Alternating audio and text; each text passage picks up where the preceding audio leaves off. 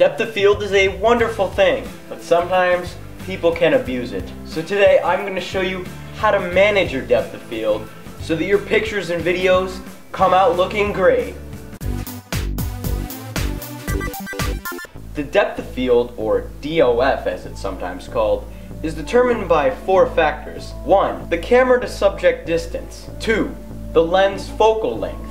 How much you're zoomed in. 3. The lens itself. Do you have a Canon lens, Nikon lens? It all matters. 4. Finally, the f-stop. The f-stop is also known as the aperture. The aperture is something inside your lens.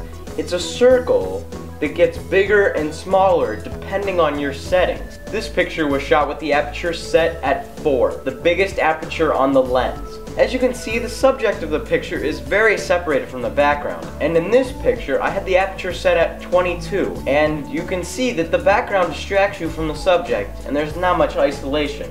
But what does depth of field actually do? Well, depth of field has multiple purposes, but the main one is to separate the subject from the background and not create distraction. As you can see in this photo, I turned the aperture up to f22, but the pink flowers in the background are distracting you from the subject. So I turn the aperture all the way up to f4, which in turn creates a blurred background, which isolates the subject, creates less distraction in the background. But sometimes people outright abuse depth of field.